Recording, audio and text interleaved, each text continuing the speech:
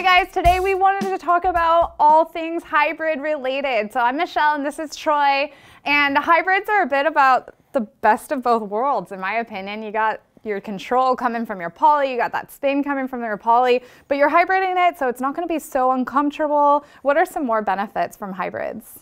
Yeah, hybrids are great. Um, we see a lot of the top professional players using hybrids, specifically, you know, natural gut with copolyester. But uh, as Michelle kind of already brought in the intro, it gives you a lot of control and spin um, from the polyester string, and then whatever you mix it with, typically um, at the elite level, you know, natural gut, uh, multi-filament, or even a synthetic gut. That's that uh, cross string or main string. The softer one is going to give you the power the feel um, and, and soften up the string bed and give you lots of comfort. So it's a great middle ground um, and also something that more people should consider, especially full poly users, um, just because nowadays so many people are using full poly and ended up, you know, uh, causing some arm discomfort. So great option. Yeah, I was actually going to say the exact same thing. Full poly bed users definitely might want to look at hybriding their strings. And as you mentioned, some of our favorite players on tour definitely hybrid. Are there any downsides to the hybrid?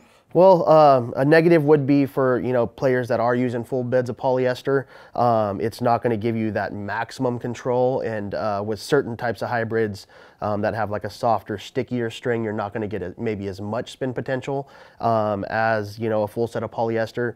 And then um, those who need you know maximum comfort, maximum power from like a natural gut or a multi-filament, uh, the hybrid might be a little firm, a little stiff, um, and then you know the tension maintenance might not be as good from the polyester polyester half of the, the hybrid compared to like a, a full bed of natural gut. Now, one other thing we get asked a lot is about tension on the string. How do I string my mains compared to the crosses? What do you suggest? Yeah, there's uh, different theories on, you know, stringing different tensions between the two different string materials.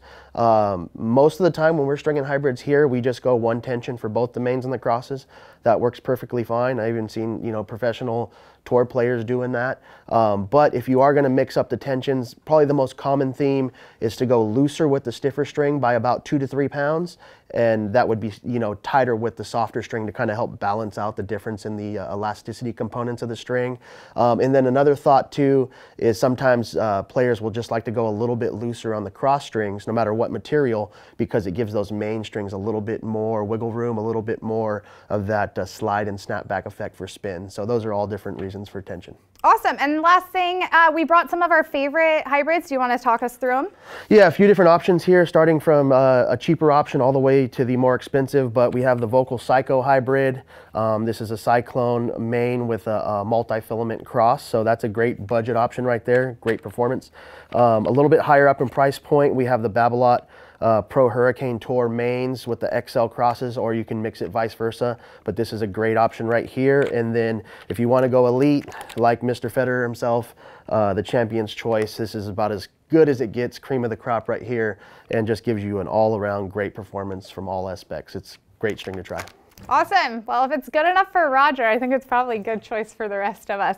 But if you guys do have any questions on which string you should be stringing with, feel free to comment below or give us a call. And if you want to learn more about improving your game and your gear, please visit us at Tennis Warehouse, Tennis Warehouse Europe, or Tennis Only.